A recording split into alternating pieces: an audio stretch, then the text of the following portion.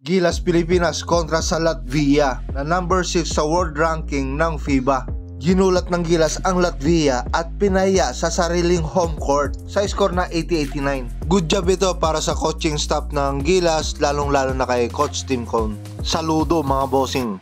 Ito, force ball possession. Magpo-form sila ng triangle offense dito. At dahil nagkaroon ng defensive breakdown ng Latvia, dalawa kagad ang tumao kay Kai na hindi nagkaintindihan sa depensa at nalibre si John Marfardo. At doon sinamantala ni Kai ang pagpasa kay John Marfardo para sa kanilang unang puntos. Pinasa kay Kai at naamoy na libre si Fardo. Ayun, easy basket. Ang ganda nun. Pangalawang ball possession para sa Gilas. Ito, pick and roll. Pick si Kai, sabay roll at pinasa ni Ramos sa kanya.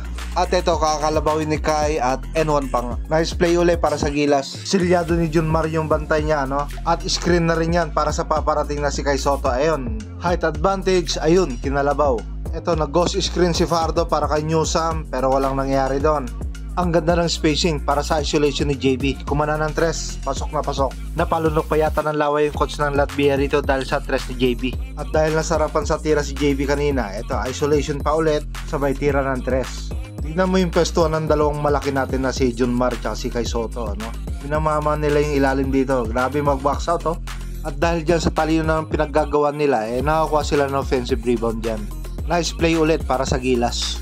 At eto pa ulit, magpo-form uli sila ng triangle offense dito. At dahil nag-V-cut si Kai Soto mula sa elbow, lapas naman para kay JB para sa alley-oop ni Kai. Ang ganda nun. Nice one Gilas, saludo ako para sa inyo sa play na to. Ang ganda nun.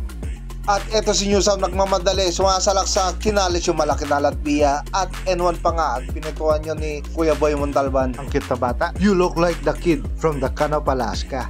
Eto nag-aso sa corner si JB rito kontra kay from the Canop, Alaska na malaki. Ilista mo na yan. Eto may mismatch dito ano. Ito ang litang banta ni John Mar dito. Ito kakalabawin lang ni John Mar yan. Sa play na to, kitang kita si Kai Soto rito no. At dahil dyan, bibigyan siya ni Perez dito. Ito, Brownlee sa top, easy na laksak, kick out sa labas kay Kai. Ito, nilatag ni Kai, dinrive, easy basket para kay Kai. Next play, ang pick and roll. Ito, nag-pick si Junmar, tapos nag-roll, ayan. Nag-alaong back, ayan. Jonens by Junmar Fajardo. Ito, post up move para kay Justin Brownlee. Maaari hindi pa nila kilala si Brownlee rito. Kaya ayan, kinain ng buhay ang depensa.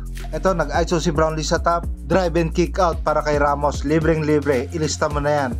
Ito, post-ups Junmar. Kayang-kaya niya yung kalaban eh. Pero may off-ball screen si Newsam para sa kalaban. At eksakto naman na nakawala si Justin Brownlee para sa easy 2 points. Driving kick out para kay Ramos para sa third quarter. Ayan, tumira ng tres, pasok na pasok. At tumira rin ng tres si Perez. Fourth quarter, humahabol ang kalaban kaya clutch basket ang ginawa ni Brownlee rito. At sinundan pa niya ito ng N1 play sa tres. At nalo ang Pilipinas dito sa score na 80-89.